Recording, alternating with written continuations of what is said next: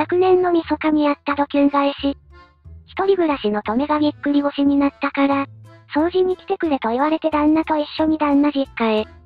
もともと旦那実家はオタクで、めったに寄りつかないんだけど、ぎっくり腰なら仕方ないと思って行ったら嘘だった。しかも旦那もグルだった。掃除したついでにさ、お正月も実家で過ごそうよ。ってヘラヘラ笑いながら、私に掃除をさせるために、親子で嘘ついたわけですか。子供と一緒に初詣に行く約束してたのも、ある催しに行く約束も、全部なしですか。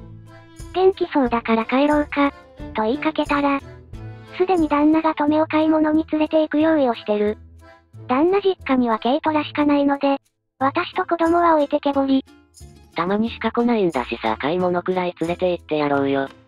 と親子をこうぶるけど、今から行くとおっしゃる郊外型ショッピングモールは、道路挟んでお迎えにございますが、車がないとダメなものを買うって、買ってきても庭にすら置けませんが、いろいろなものに見切りをつけて、家中のものをゴミ袋に突っ込んで表に出し、鍵かけて私の実家に帰った。そしてそのまま現在に至る。33にもなって5000円で釣られるなよ。旦那も義実家に捨ててきたの捨ててきました。何度か話し合いの場を持って説明しましたが、夏が来ても、何が悪かったのか理解しない旦那なんかいらないです。緑の髪も発動したのかな？なかなかさっぱり片付かなくて、弁護士さんを探してるところです。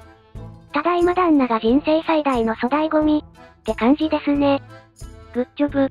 バカは捨てるに限るね。うちの子でも釣られないわ。